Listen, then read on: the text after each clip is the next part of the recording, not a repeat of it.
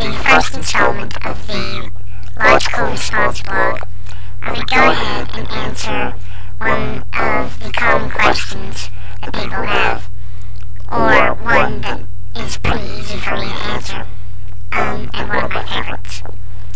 So, the question is, why do you want to date more when you're younger than you do when you're older? And the answer is pretty simple. You do want to date more when you're younger than when you're older, but not a lot more. You just know more about the situation. And as you um, obtain more information about what it is you're doing, the easier it is to plan why you're doing it. So, um, the reason is that when you're you feel the need to keep yourself entertained by way of drama. And drama is something that everyone loves when they're younger. Now, whether you think it subconsciously or not is true, and it's undeniable.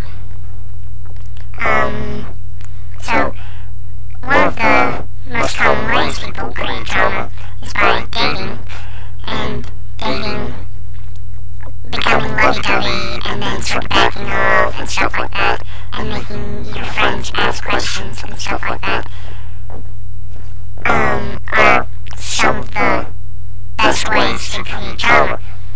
And so that's why you want to date more younger. So, yeah, you understand.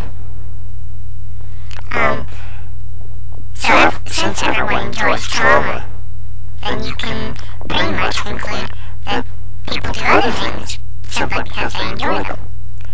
Like getting upset. Getting upset at a situation is, one, another way to create drama, and two, the best way to release stress from the situation. You would be happier getting upset about it than bottling it all up inside because then you would be totally uncomfortable with the situation.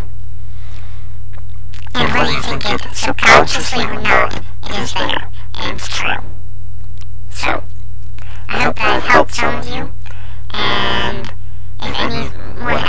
has questions, just send them to me. Um, from now on, I hope, I hope that I will be answering questions from individuals, but I can't be sure because I won't know how many people will recognize me after this particular blog, but we will see.